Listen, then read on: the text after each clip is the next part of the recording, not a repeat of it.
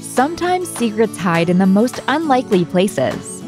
Aunt Molly's house has a problem, and that problem is elves. When the kids come to visit, they discover a family of elves causing mischief throughout the house.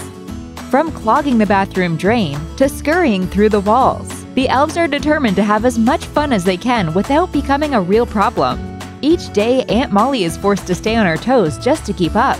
Follow the adventure with The Elves in My House and see for yourself. The Elves in My House by Molly Prickett, available now.